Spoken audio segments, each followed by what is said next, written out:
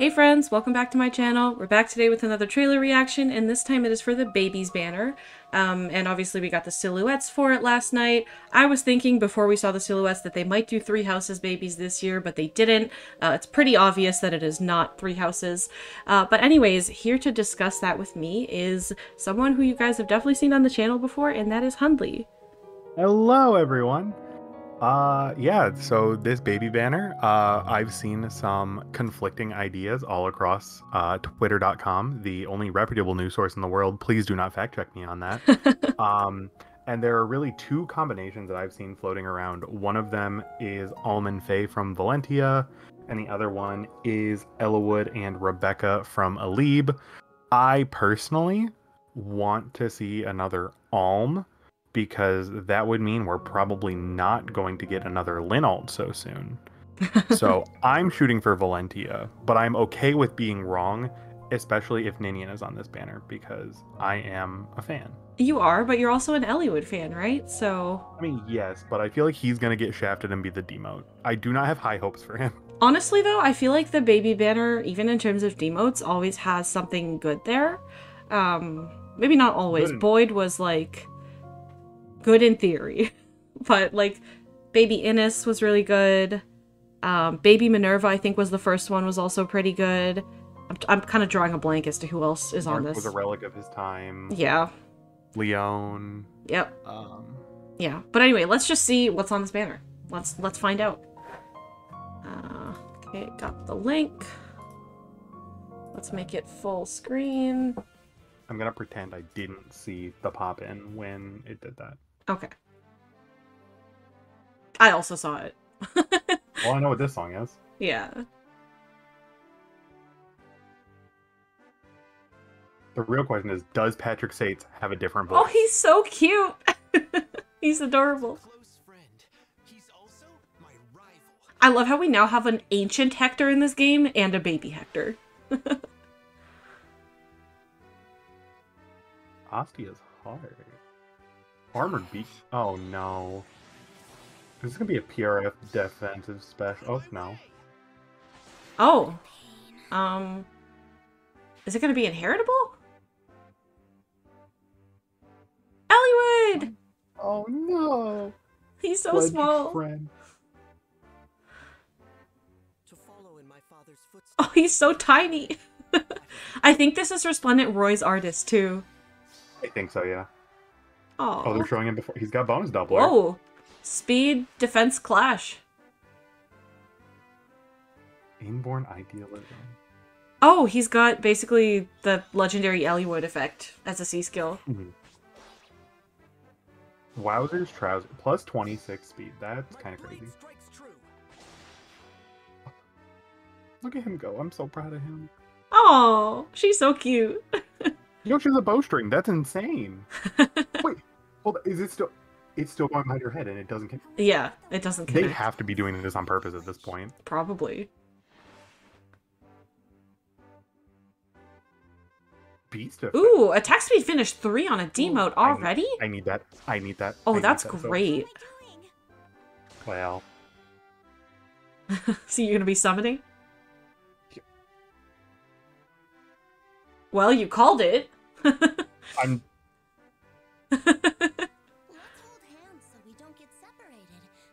At least she's the backpack, I guess. Wait, Mark just doesn't have a voice?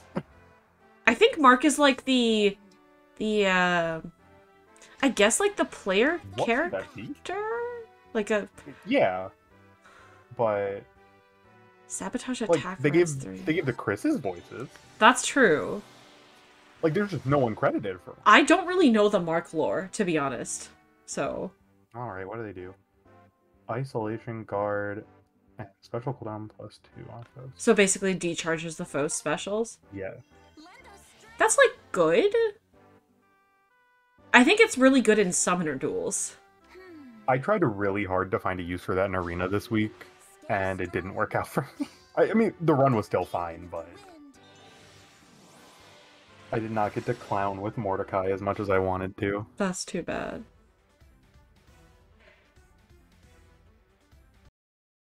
Mordecai would love some kind of inheritable assist, like movement assist. Huh? Lucius ult. I think that was Lucius. at Wait, least. let's go back and see. I wasn't paying attention. Oh, you're right. oh, that's very I cute. Like Lucius. I think. Yeah. Too bad Raven's not on this banner. Yeah, we get it. You can spark. Um, uh, Hector armored green, um, axe, staying true to his roots. Uh, do you want to go ahead and read his weapon? Yes, but before I do that, can I just say, it's not Armads. We finally did it. True. uh, it's like pre Armads, but much better. yes. So pre Armads, also known as the Valiant War Axe. Uh, slaying at the start of combat if unit's HP is greater than 25%, inflicts attack defense minus 6 on foe during combat, inflicts special cooldown and charge minus 1 on foe per attack, so guard minus 6, reduces damage from foes' attacks by 30%. Oh, it's not even. It's not even first attack. It's just attacks general. Oh, from attacker. Oh my god. Yeah. Also, if units within three spaces of an ally inflicts penalties on foe's attack during combat equal to 12 minus the foe's max special cooldown times 2. So if you're familiar with Arcane Nastrand, it will be very similar to that. Uh, this unit is going to be Tonky. Yeah. Armored Beacon, I I feel like this is going to be inheritable just because I would be shocked if they gave him 3 PRF skills. I would just be shocked. Um, There's like almost no way. I feel like I- this I is like a, a, a Lyn, like a, a Flame Tribe Lyn Yeah. type situation. Yeah, there. That's what I was saying. There's almost no way this is also a PRF. I was agreeing with you poorly. I promise. Yeah, no, no, I know. I was just furthering my point. Um, but yeah, I feel like this is well, let's read it. I will save my thoughts for after. So, Armored Beacon boosts special damage by 40% of unit's defense. That's a lot. Uh, if foe's range equals 2 and unit or foe special is ready or triggered before or during this combat, reduces damage from foe's next attack by 40%. So, this is very clearly like the Vital Astra equivalent for tanky units. Bro, this is just what? Yeah, it's That, that's not okay. It's better bonfire with 40% damage reduction against ranged units. Well, it has less power than bonfire, right? Because bonfire is fifty percent. oh, yes, my bad, way. my bad. And then while you were reading that, I was kind of peeking at Ostia's heart, and I'm like, y'all just don't get to have stats against this unit. You want to read that? Of course. So unit can attack, counterattack regardless of foe's range. If foe initiates combat or foe's HP is greater than or equal to 75%, inflicts attack defense minus 8 on foe during combat. And also, when unit deals damage to foe, restores 7 HP, triggers even if 0 damage is dealt. So uh, with Vengeful 4, he will be doubling back. That is 14 damage per combat that you have to re-break through after he gets 30% on every hit, an additional 40% on a follow-up attack if he triggers Armored Beacon. Uh, also, on top of having at least uh, minus 18 attack on the foe. That's a lot. Just smile and wave. Like, th- this unit is going to be. I don't think it's going to be like game breaking, but it will be annoying. I like that this is another option for people who don't want to run hardy fighter. Like this is like you you now as an armor as a far save armor, you do not have to run hardy fighter. You could run this instead, um, and still be. I don't know if this is more optimal than hardy fighter, but it is it is quite good. I'd like to make an addendum to the statement I just made. Add an extra minus four attack on top of that. I forgot Vengeful 4 did that. Yeah. um, Armored Beacon, I guess it remains to be seen what the inheritance restrictions are. My guess would be it's the same as, uh, actually, no, not the same as Vital Astra, because Vital Astra is infantry only. What if this is, it's probably armored only from the name. I'm thinking melee armor. Yeah, probably. Melee armor. So, you know, Brave Hector can use this. Any of No, your no, arcane weapon. Stop it. No, he can't. Not allowed. Uh, he definitely can. He definitely can use this. No, no, no, no, he's not allowed. Okay, let's move on to Eliwood. Uh, Sword Calf. He has a lot of competition in that class. I'm gonna go ahead and read his sword. Um, so, Fiery War Sword, Slaying, if unit initiates combat or is within two spaces of an ally, grants Spectrum plus X to unit during combat, where X is the number of bonus effects active on unit, excluding stat bonuses, times 3 plus 5. Max 17. That's So, stupid. so how what would you need to get to 17? You would need 4. 4 Right. bonus effects. Wait. Yeah. Four times three is twelve, and then plus five is seventeen. I don't know why I was looking at the five and thinking it was times five. I broke my own brain there, but yeah, you're right. Um, a four is like relatively. I mean, actually, now that I look at it, with his inborn idealism, he literally gives himself two. So He's halfway there. yeah. Uh, so let's see what else he's got. Neutralizes effects that guarantee foes follow-up attacks and effects that prevent units follow-up attacks. Usually worded opposite? Like, isn't it usually neutralizes effects that prevent units follow-up attacks and guarantee foes follow-up attacks? You're asking the wrong person. I have no idea. Okay, I don't know either. and reduces damage from foes' weird first attack. when you said it, so maybe. Yeah. So he's got slaying, he's got a bunch of spectrum stats. He's got full null follow up, which is really strong actually. The full null follow up I feel like is underrated in terms of how strong it is. Um, and then 40% DR on the first hit. I, I'm a genius. I just thought of his best partner. Mm, Brave Chrom? I mean, probably not. No. Uh, Mythic Askr. Specifically Mythic. Because, like, you could kind of get away with doing it with um New Year's, but the beast, him being a beast, activates the C skill without needing anybody else on the team. True. So, like, you you could do either, but you would just need to make sure you have a beast on team because you would get the two resonance effects plus bonus doubler plus null panic. You're already at your max stats. Yeah. That's insane that one unit can support that whole thing Yep. without like you they just get them. Like Yep. there's no setup. I was thinking Na would also be a decent partner, but she does only give one visible stat effect. Um, but she does activate his effect, and she does give him the the World Breaker effect. The so ramping, yeah. yeah. I mean, speed defense clash is a thing. Um, I don't think it's gonna be optimal on almost anyone, as opposed to like. think it's optimal on him if I'm being honest with you. Oh yeah, no, like you would rather literally just have like attack speed clash on him, but Wouldn't I it mean- be so silly to just like give him Brave Seliph's kit? yeah, um, this is a good unit. Uh-huh. Uh, his support is equivalent to legendary Eliwood, though. So I would say, if you're only pulling him for support, um, and you've already got legendary Eliwood, Beast of ooh, there's no point. but he as a unit on, on his own is quite good. because instead of it being split aco- split across the sword and the C skill, it's all in all of the support is in the C, so he can have a more selfish weapon. Yes. Also, he's like several generations newer, so inherently he's going to be much better Yeah. offensively.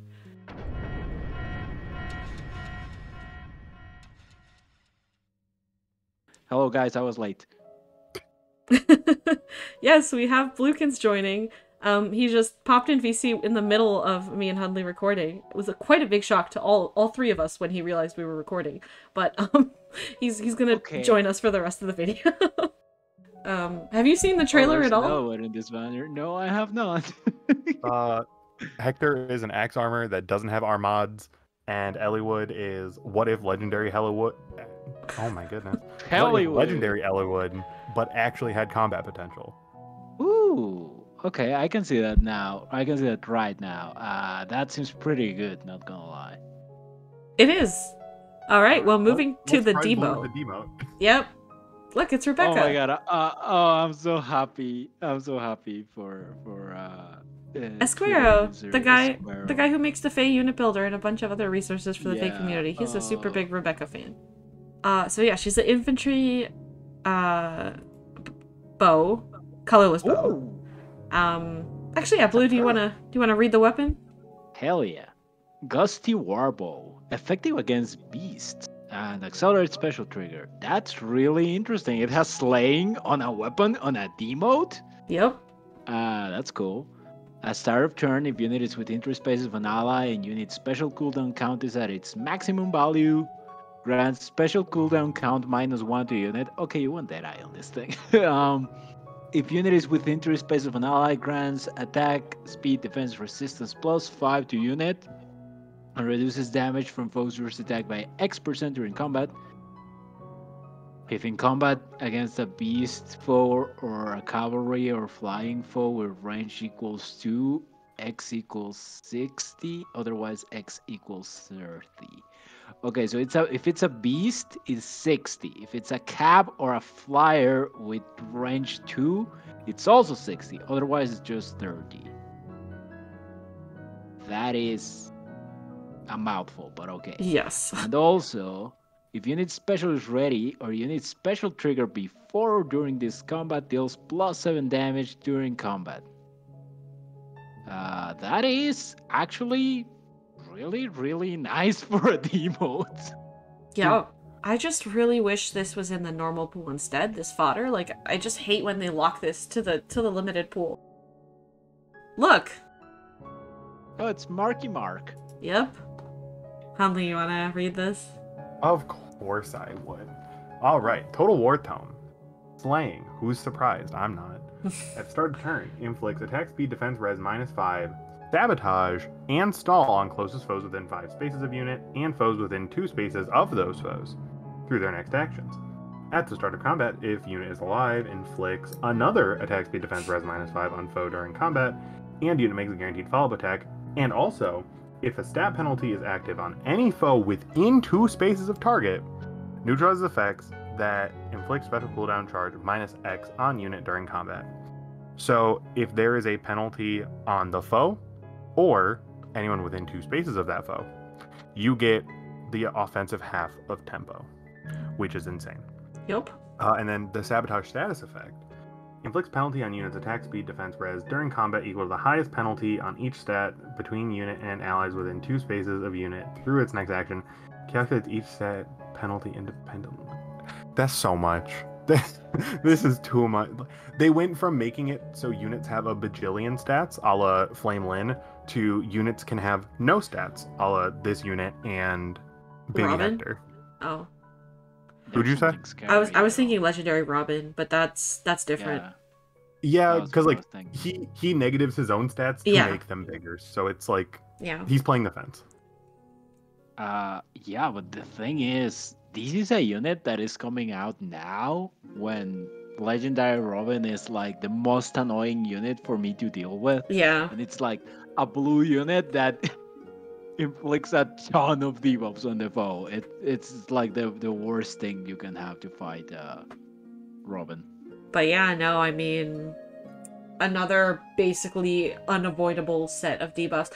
I, am I the only one who's annoyed with all these units nowadays who like not only do they have an upgraded range compared to Menace, it's like it inflicts people within five spaces, but it's also people within two spaces of the person within five spaces. That just annoys me. Like there's too many debuffs. Like I'm not a fan. Okay, Aversa user. Uh, No, it's different. It's different because imagine if Aversa also inflicted it on people within two spaces of the people who are already inflicted. Like, it's just, it's like the new thing this gen, and I'm not a fan of it. It's like so many debuffs. I'm going to read Sabotage AR3. Um, Yo, because didn't they already do that with Chaos Season?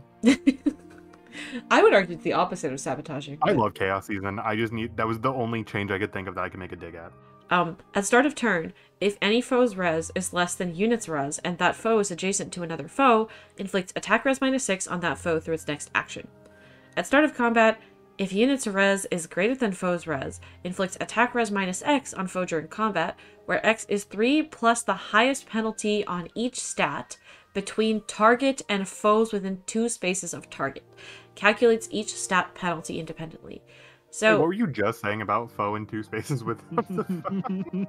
yeah i mean uh so the the adjacency condition is the same um Is and then then legend effect? it's so let's think about it it would be three plus let's assume you have so you're basically inflicting attack res minus nine on the foe just with this sabotage active Uh, it's also a supportive skill. Like you get that on your combat, but all your allies are also benefiting from you debuffing. well From the physical debuff or the visible debuff. yeah yeah, but they're not benefiting from the in combat debuffs I gotta ask, is this an insane power creep to the chill skills, the tier four chill skills? I would say more a side grade than anything. Um, I would say it's overall stronger, but I, I definitely wouldn't call it a power creep.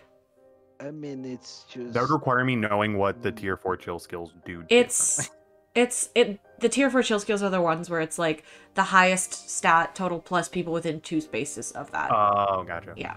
So that Um, one can potentially give you more visible debuffs, uh, especially on teams where adjacency is not a thing. However, it doesn't have the in combat uh, potential. And it doesn't require because both of these require you to win a res check. Yes, that's true. That's true.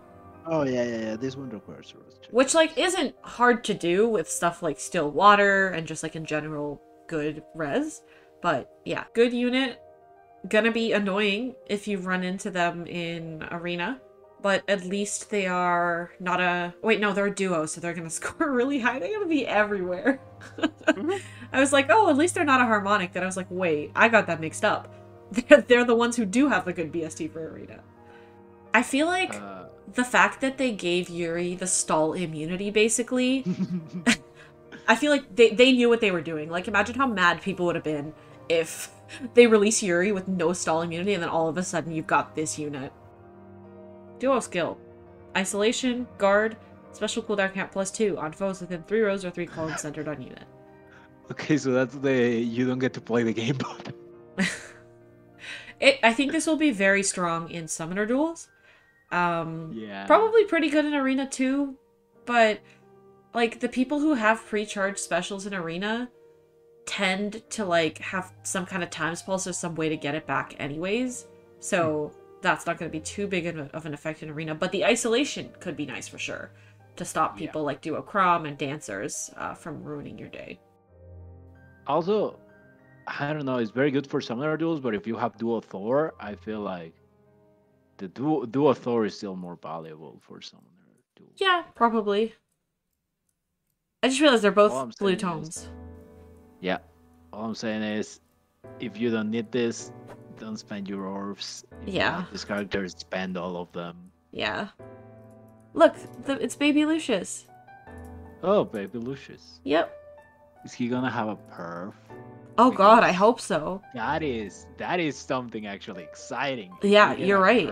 Would this be our first? staff, Would this be our first Grand Hero Battle staff with a PRF?